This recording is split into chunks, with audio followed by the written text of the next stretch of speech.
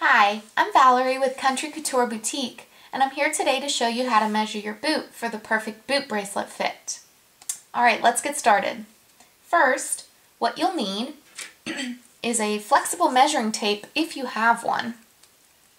But if not, you can simply get creative and find some string laying around your house, scissors, and a ruler.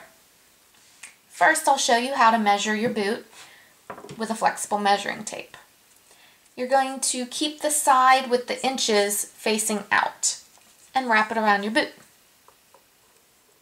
Your boot bracelet is going to fall somewhere like an anklet, right around here. You, you don't want it to be too high around the shaft, you, and you don't want it to be too low. So right about here.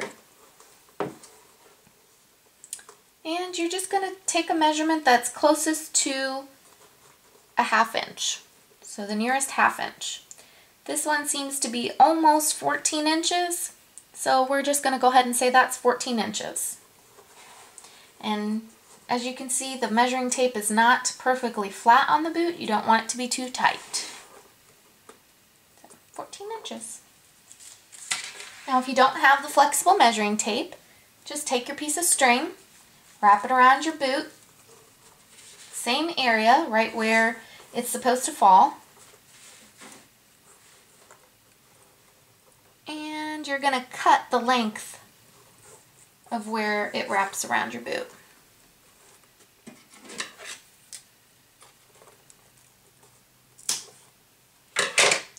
Once you have your cut piece that has your exact boot measurement, you're going to take your ruler. Now the piece of string is likely to be longer than your ruler. So I'll show you what we can do.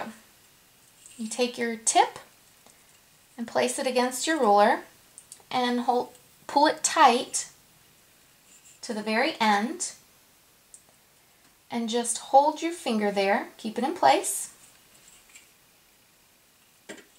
And keep that exact amount that you had left.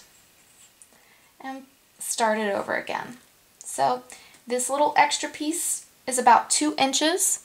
And you'll just add that to the 12 inches that we already measured and that gives you 14 inches. That's all. Thank you guys for watching.